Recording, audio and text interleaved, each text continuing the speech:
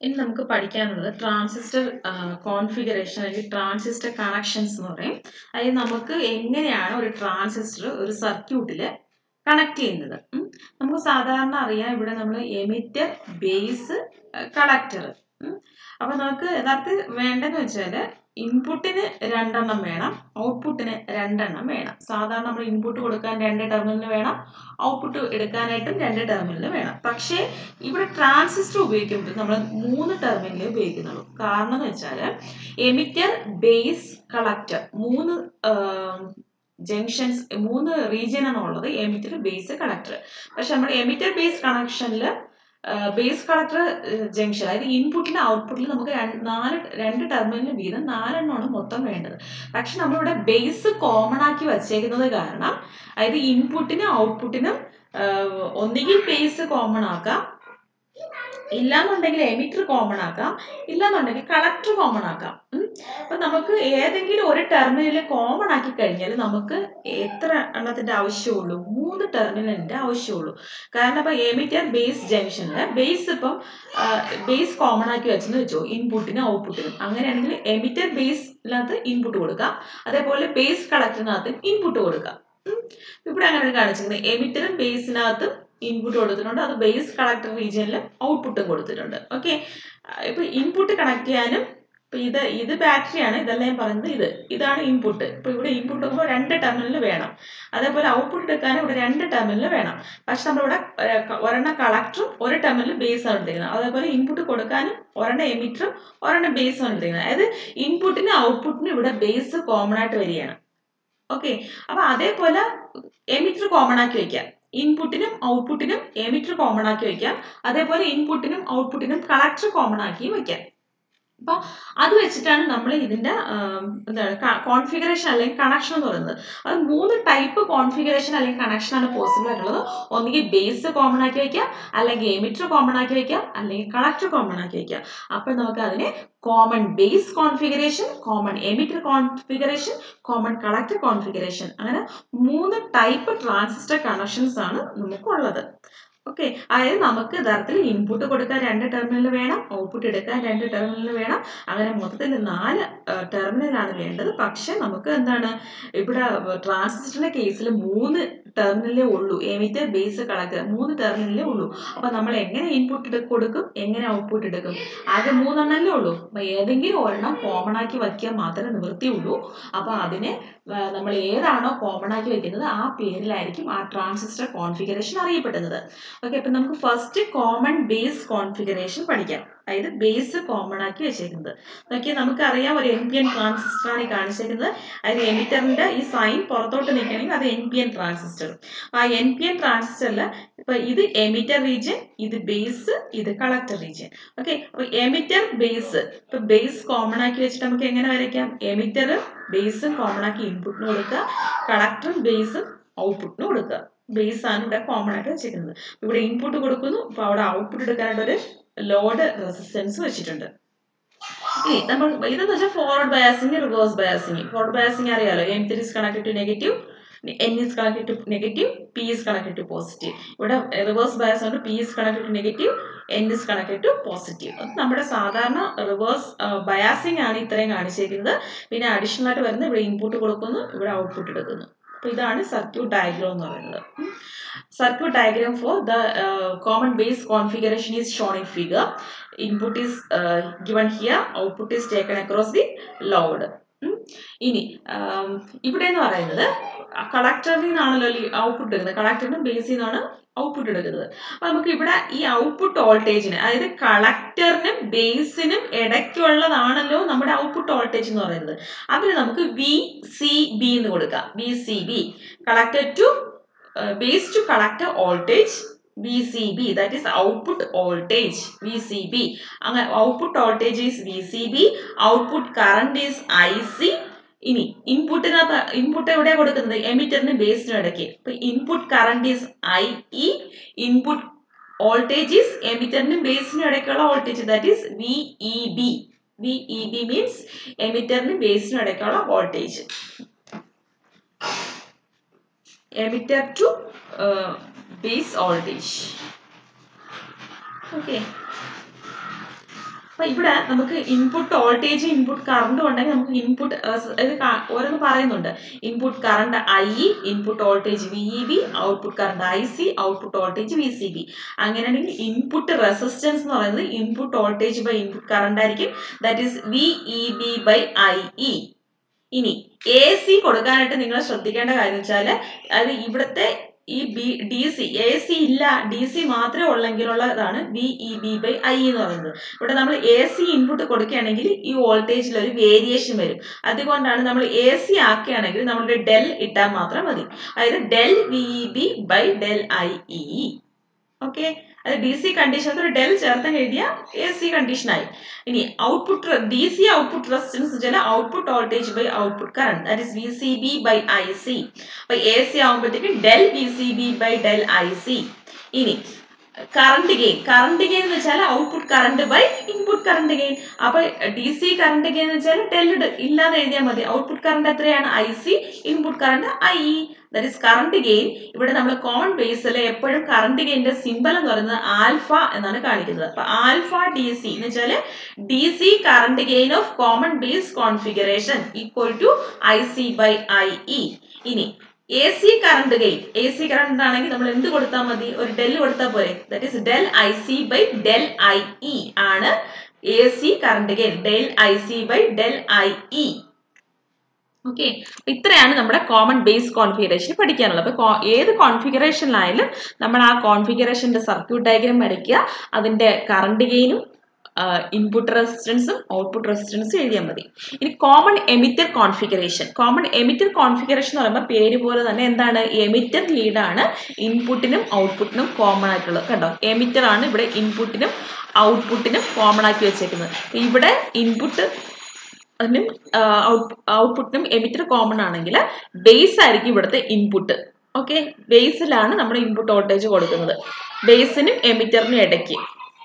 കളക്ടറിനും എമിറ്ററിനും ഇടയ്ക്കായിരിക്കും output okay അപ്പൊ ഇൻപുട്ട് കൊടുക്കുന്നത് ബേസിനും എമിറ്ററിനും ഇടയ്ക്ക്. ഇപ്പൊ ബേസ് നമ്മളിവിടെ ഇതും കാണിച്ചേക്കുന്ന എൻ പി എൻ ട്രാൻസിസ്റ്റർ ആണ്. അപ്പൊ P is connect to positive N is connect to negative here N is connect to positive ഇവിടെ എന്താണ്? P is connect to negative ഇത് ഫോർവേഡ് ബയാസിങ് ഇത് റിവേഴ്സ് ബയാസിങ് എപ്പോഴും നമ്മൾ അങ്ങനെ തന്നെ ആയിരിക്കണം. അതായത് ഇൻപുട്ട് എപ്പോഴും ഫോർവേഡ് ബയാസിലും ഔട്ട്പുട്ട് എപ്പോഴും റിവേഴ്സ് ബയാസ് കണ്ടീഷനിലായിരിക്കണം കൊടുക്കേണ്ടത്.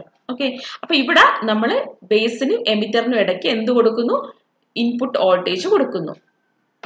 ഇൻപുട്ട് വോൾട്ടേജ് കൊടുക്കുമ്പോഴത്തേക്കും നമുക്കറിയാം എന്താണ്?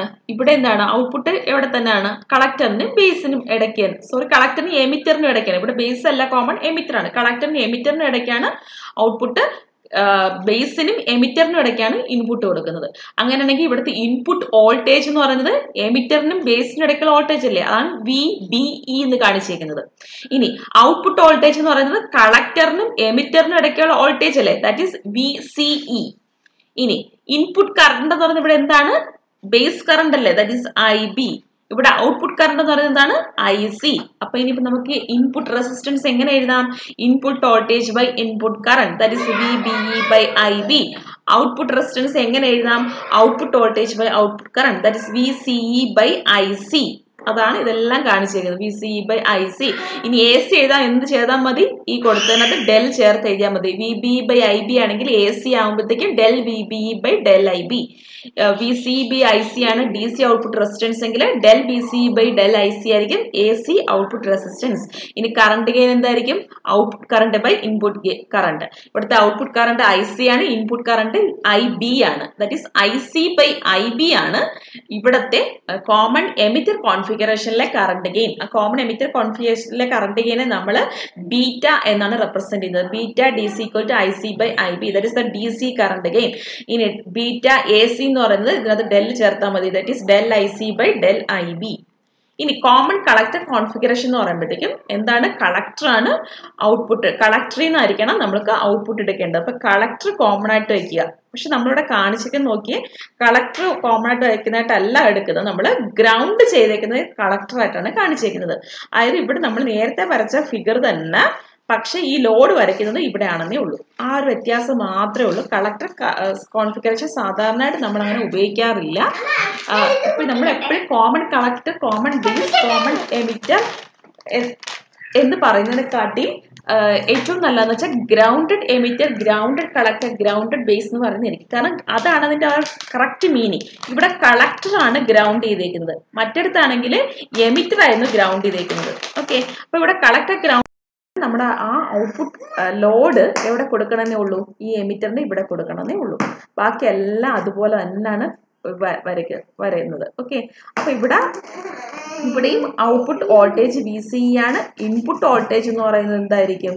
വി ബി ഇ ആയിരിക്കും. ഓക്കെ അതേപോലെ കറണ്ടും എഴുതാലോ അപ്പൊ നമുക്ക്? ഓക്കെ അപ്പൊ ഔട്ട്പുട്ട് വോൾട്ടേജ് എന്ന് പറയുന്നത് വി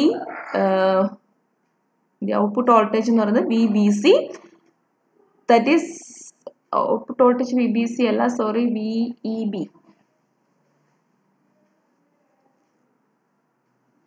output voltage എന്ന് പറയുന്നത് V C E V C E ആണ് ഔട്ട്പുട്ട് വോൾട്ടേജ് തെറ്റിപ്പോയി എഴുതിയപ്പോൾ അല്ലല്ല ആ വി സി അല്ലെ V E C V E C by output output current എന്ന് പറയുന്നതായിരിക്കും ഐ ഇ ആയിരിക്കും. മറ്റേത് എന്തായിരുന്നു? കളക്ടർ കറണ്ട് ആയിരുന്നു. അത് ശ്രദ്ധിച്ചോണം. എമിറ്ററിൽ എന്ന് പറയുന്നത് ഔട്ട്പുട്ട് കറണ്ട് എന്ന് പറയുന്നത് ഐ സി ആണ്. പക്ഷേ ഇവിടെ ഔട്ട്പുട്ട് കറണ്ട് എന്ന് വെച്ചാൽ നമ്മുടെ കളക്ടർ ആണ് കോമൺ ആയിട്ട് ഇരിക്കുന്നത്. അപ്പൊ ഔട്ട്പുട്ട് ലീഡ് എന്ന് പറയുന്നത് എമിറ്റർ ആണ്. അതായത് ഔട്ട്പുട്ട് കറണ്ട് ഐ ഇ ആണ്. ഐ സി അല്ല ഐ ഇ ആണ്. Output voltage V E C എമിറ്ററിന് കളക്ടറിന് ഇടയ്ക്കുള്ള voltage output current I E that is V E C by I E ആണ് ഔട്ട്പുട്ട് റെസിസ്റ്റൻസ് ഓക്കെ പക്ഷെ അതേപോലെ ഇൻപുട്ട് റെസിസ്റ്റൻസ് എന്ന് പറയുന്നത് എന്താണ്? എമിറ്ററിലായിരുന്നെങ്കിൽ എന്തായിരുന്നു? V E B by I B ആയിരുന്നു. പക്ഷെ ഇവിടെ ആണെങ്കിലോ V B C by I B ആണ്. V B C by I B കാരണം എന്ന് വെച്ചാൽ കളക്ടറാണ് കോമൺ ആയിട്ടുള്ളത്. അപ്പൊ V B C by I B മറ്റിടത്താണെങ്കിൽ V E B by I B ഇവിടെ ആണെങ്കിൽ V B C by I B input current I B തന്നെയാണ്. That is V B C by I B ആണ് ഇവിടുത്തെ common collector എന്ന കേസിൽ input resistance എന്ന് പറയുന്നത്. Okay അപ്പൊ ഡെൽ ചേർക്കുമ്പോൾ എ സിയും കൂടെ അടുത്താൽ മതി. ഇനി കറണ്ട് ഗെയിൻ എന്ന് വെച്ചാൽ നമുക്കറിയാം നേരത്തെ കോമൺ ബേസ് ആണെങ്കിൽ കളക്ടറാണ് ഔട്ട്പുട്ട് എമിറ്റർ ആണ് ഇൻപുട്ട് അപ്പോൾ I C by I E common emitter ആകുമ്പോഴത്തേക്കും കളക്ടർ ആണ് ഔട്ട്പുട്ട് ബേസ് ആണ് input that is I C by I B പക്ഷെ ഇവിടെ എന്ന് പറയുന്നത് എമിറ്റർ ആണ് ഔട്ട്പുട്ട് ബേസ് ആണ് input that is I E by I B അപ്പം എ സി ആക്കാനായിട്ട് നമ്മൾ എന്ത് ചെയ്താൽ മതി? ഡെൽ ചേർത്താൽ മതി. That is del I E by del I B. അത് മാത്രം ശ്രദ്ധിച്ചുകൊണ്ടാൽ മതി. ഫിഗർ വരയ്ക്കുമ്പോഴത്തേക്കും ആ ഔട്ട്പുട്ട് നമ്മൾ എവിടെ വരച്ചാൽ മതി? ആ എമിറ്ററിന്റെ സ്ഥാനത്ത് വരച്ചാൽ മതി. പക്ഷെ ഔട്ട്പുട്ട് കറണ്ട് ഡിഫറന്റ് ആണ്. അത് ശ്രദ്ധിച്ചോണം. ഔട്ട്പുട്ട് കറണ്ട് എന്ന് വെച്ചാൽ ഐ ഇ ആണ്. ഐ സി അല്ല. അതങ്ങനെ എഴുതി പോരുത്. ഇത്രയേ ഉള്ളൂ. ഇനി അത് അധികം ഉപയോഗിക്കാത്ത ഒരു കോൺഫിഗറേഷനാണ് നമ്മുടെ കോമൺ കളക്ടർ എന്ന് പറയുന്നത്. നമ്മൾ സാധാരണ സർക്യൂട്ടിൽ കൂടുതലും ഉപയോഗിക്കുന്നത് കോമൺ എമിറ്റർ കോൺഫിഗറേഷൻ ആണ്.